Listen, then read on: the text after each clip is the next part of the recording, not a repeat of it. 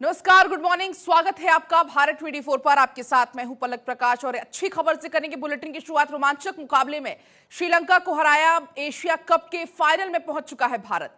इकतालीस रन से भारत ने जीता मुकाबला। कुलदीप यादव ने चार विकेट लिए। बड़ी जानकारी आपको दे दें। रोमांचक मुकाबला था जिसमें श्रीलंका को भारत ने हराया। श्रीलंका को इकतालीस रन से भारत ने हराया है। एशिया कप के फाइनल में पहुँच चुका है अब भारत। और इकतालीस रन से भारत ने यह मुकाबला जीता है।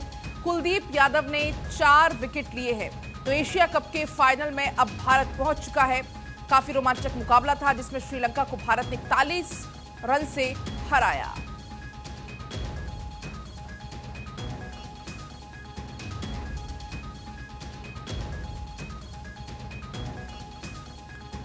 एशिया कप के फाइनल में अब भारत की एंट्री हो चुकी है। रोमांचक मुकाबले में श्रीलंका को शिकस्त दी भारत ने। 41 रन से जीतकर मैच अपने नाम किया और फाइनल में अपनी जगह बनाई।